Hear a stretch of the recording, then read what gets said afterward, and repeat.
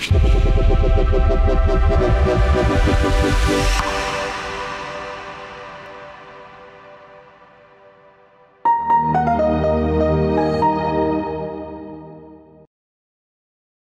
everyone, and it's, it's really a pleasure to be here today with IDC Directions and, and to uh, have the pleasure to present what we consider is going to be one of the future trends, or is, if it's not what we consider a given trend. So we w- would like to share like uh, what we consider is, is key for CDOs and for people working with data on, on defining a data strategy. I've been working for SDG for more than 10 years, and I'm, I'm a partner leading some of the uh, global clients uh, working for SDG Iberia. So just to introduce, like uh, at the beginning of the year, we came with what we call the given trends. There are two trends specifically that we would like to highlight and, and divide that around four different topics that I will cover in, in, in, in the around the presentation. But before that, like in any other strategy, we need to make sure that every strategy needs to have three things. So normally we say people, process, and technology on our side, it needs to be key that at the end people are data driven. So it needs to have that cultural change. It's not, it's not going to happen if, if we don't have the data driven mindset. We're going to find challenge. Uh, so we need to change process and, and to get ownerships. And then the agility that will will come, of course, with the technology. But a, a lot of the things that I don't know when we speak with IDC itself or with our customers, when they fail implementing in the past like big data or data transformation projects sometimes like i don't know 70% of the times comes because they didn't have the right changes on the organization so when we go through this chapter and, and kind of this next 15 minutes that i would like to share it's, it's kind of an evolution on how we should be driving that new data governance getting that with uh, the technology itself so on our side the first topic we would like to, to have is the smart metadata. The smart metadata for us is what we call the heart of data governance is, is kind of key to survive right now, even on, on, on this new world where, I don't know, some people uh, call it the data is the new oil of the economy. That's kind of a, a hype as well, but it's a reality that we're using data all over uh, in, in, in different functions. We're starting to to see how we can improve even the, the models that we were having. So when we are talking about the smart metadata, we're talking about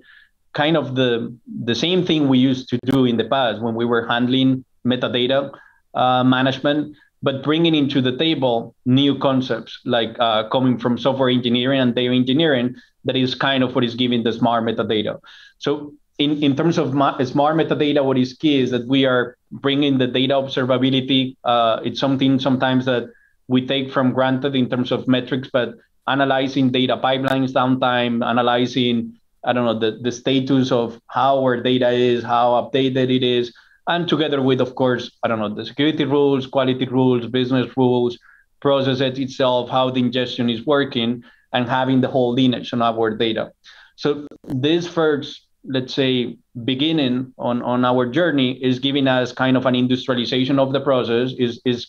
giving a little bit of automation on on on what is going to help us drive the data and analytics is going to help us also to bring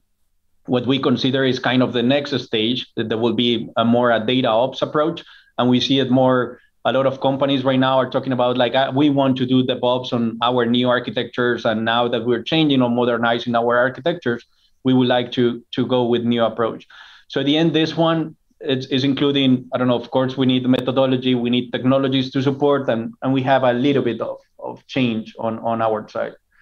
So just to bring a case, I don't know, in, in, in this case, one of our customers uh, in, in banking was having this issue in terms of how to analyze having downtimes of data, not having the data updated. Uh, we went with this approach in terms of smart metadata, in, in fact, I don't know, we're seeing that, and uh, sometimes even it's called metadata driven environments where you have portals to handle all the different alerts, and, and the system and the technology is helping you drive and, and see what is happening behind your data.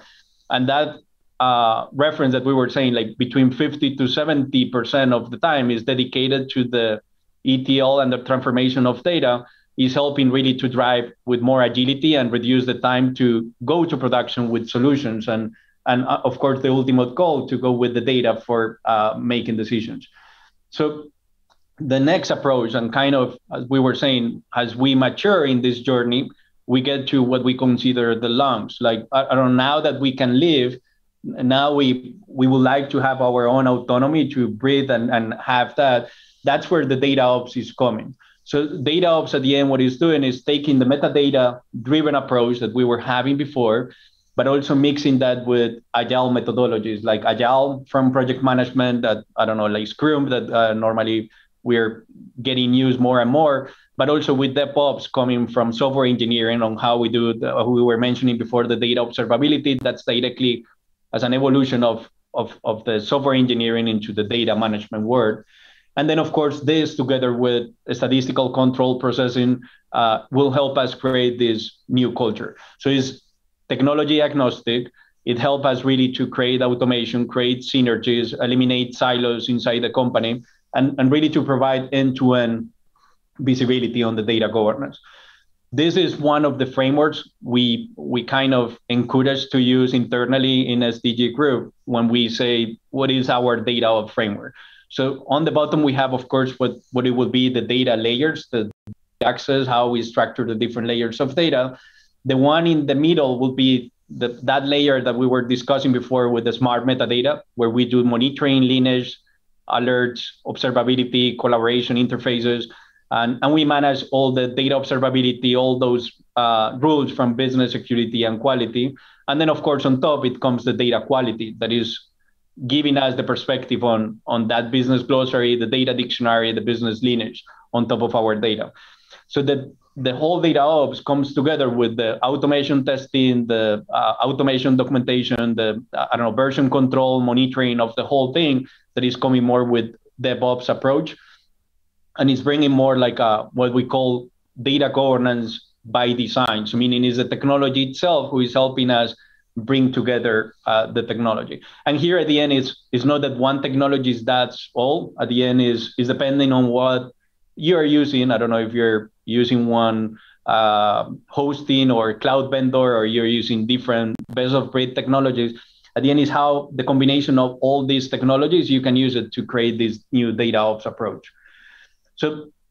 the in, in, in our case, one of the case studies that we have was more with a, a telco, a big telco in, in Europe. And in this case, one of the issues that we were having was consolidating all the data or having that unique view on the customers. So having this approach that the technology was kind of uh, uh on, on the same way that we were kind of speeding the way on how data was loaded, how we were finding anomalies and issues in the data, we, we were able to really um, accelerate the whole process of bringing data into the business.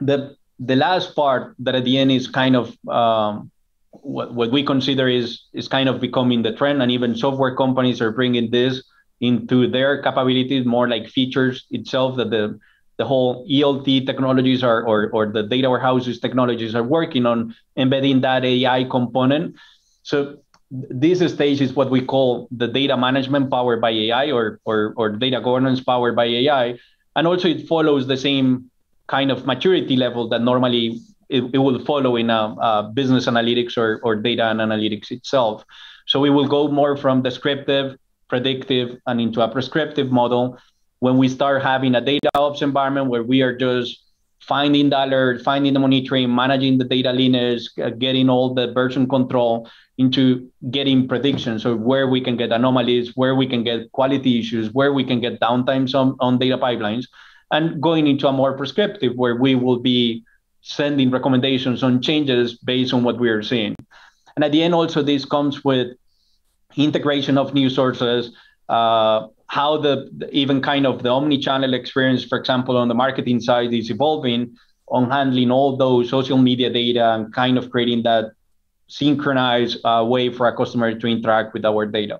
So this will be like the the latest version on what we see in terms of uh, working with the data governance environment in a more collaborative uh, models. Right now, we I don't know we, we're seeing more things between descriptive and, and predictive. There are really few implementations right now moving into a more predictive environment, but we're seeing that more like a case by case, department by department that are getting into data ops uh, predictive. In in this case, at the end, what it what it does is applying kind of on all that those different sources, the volume that we're having, creating, uh, applying those rules on data quality, data observability for for the data pipelines, applying AI on the DevOps in terms of moving from environment to the other, automation on how we do things, on testing, uh, I don't know, like uh, GXP environments or or things that need to be tracked completely down to the the row level. And of course, on data catalogs. That right now there are even softwares where you connect and automatically you get the whole data catalog just by getting the logs. So it's kind of the evolution on on what we are seeing uh, here. In terms of solutions, it's one of the things also that we're seeing that I was mentioning before is it goes department by department um, we're seeing this, for example, I don't know, there is another, apart from this case, an, another case where we're seeing in a CPG where the team is improving algorithms that in the past was just a, a normal uh, model and KPI, just kind of uh, uh, calculating the customer lifetime value. Whereas now you can interact more with the data and bring new uh, capabilities in order to calculate more sophisticated models using AI in terms of the whole data pipeline. So with this one, the last piece that I will kind of include and, and close the loop will be the unique inter uh, cloud uh, approach. So meaning at the end, if if we are kind of or or what we say internally has a trend is the cloud is now a must. Like I don't know, every software company, all the companies are moving into the cloud. And on, on my personal side, that I don't know, we were suffering like even moving from one desktop to the other or laptops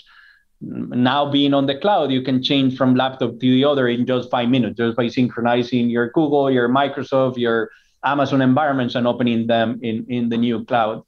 So when we are talking with the intercloud, at the end, it's more like how we get the benefit of all the cloud hosting, and we don't get the mistake of getting kind of locked down on one specific cloud. So this is more something that we recommend to look in. It's not just about getting married with one cloud and then everything with that cloud and, and we need to do it everything with that vendor is more taking the capabilities on what are the things that one company can bring me into the table like where has is machine learning ops or is the algorithms that they have or in this other side is the compute the, the, the storage of the data and having those approaches on more hybrid cloud and intercloud and even reducing latencies between regions i don't know for example in asia we can have a better uh, service, for example, with Alibaba, but in in US we can use Amazon Web Service, and then in in Europe we could be using Microsoft. So at the end, is creating those uh, new trend that in terms of data is being called data mesh, creating those interclouds internally and synchronizing all all the different clouds and different data uh, repositories in in terms of um, the company. So this reduce the the cost, of course, it, it creates um, uh, reduce also the technical gap that we can have in terms of know, having all the functionality in one place and, and giving us the opportunity really to work more on, on, on a whole environment where we get the best of the best from every other company. So from from this is is kind of a quick intro on what we consider what are the trends in the market that we would like to share and, and, and you to get it. But at the end is the question is, are we taking the right steps in order to do this? When we have the conversation with our customers, there are kind of something that we see on the agenda on, on everyone. I would be happy, like without any compromise. If you need further detail, just contact me and uh, I can give you quick uh, things or advice on on how we are doing, on how we can help you. So thank you very much, and it was a pleasure to, to participate in IDC Directions.